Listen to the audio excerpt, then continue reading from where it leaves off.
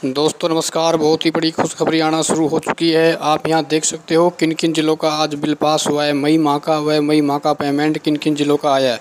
तो आगे बढ़े, उससे पहले छोटा सा निवेदन आपसे ज़रूर रहेगा। यदि आप इस चैनल को पहली बार देख रहे हैं तो आप इसे सब्सक्राइब कर लेना।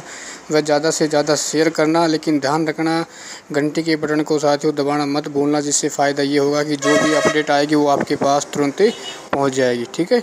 अच्छा इसके बाद आप यहाँ देख सकते हो जो सवाई माधोपुर ज़िला है, इसका मई माह का पेमेंट, सॉरी, बिल जारी कर दिया गया है साथियों, जो आप काफ़ी लंबे समय से बार बार कमेंट्स कर रहे थे, ठीक है ना?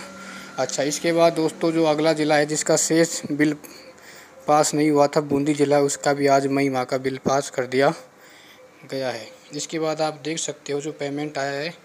पेमेंट यहाँ पर आप देख सकते हो कोटा ज़िले का पेमेंट जारी कर दिया गया है और इसके बाद ज़िला आता है। साथ ही अगला ज़िला है यहाँ पर उदयपुर ज़िला, ठीक है ना? उदयपुर ज़िले का भी आज पेमेंट पुनः जारी किया गया है। कल भी पेमेंट डाला गया था और उसके बाद एक ज़िला और है धौलपुर ज़िला, साथियों। धौलपुर ज़िले का भी पेमेंट जारी कर दिया गया है, ठीक है ना?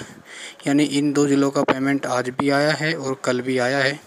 दोस्तों, यदि आप इन ज़िलों से संबंधित हैं तो अपना पेमेंट भी चेक करें, व अपना बिल भी चेक कर लें, ठीक है?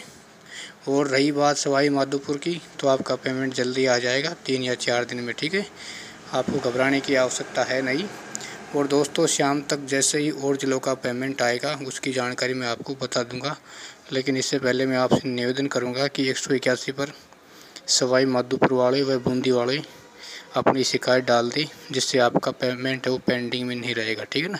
पेमेंट तो आएगा, लेकिन ये कई बार क्या होता है दस पंद्रह परसेंट का पेमेंट पेंडिंग में डाल दिया जाता है, ठीक है?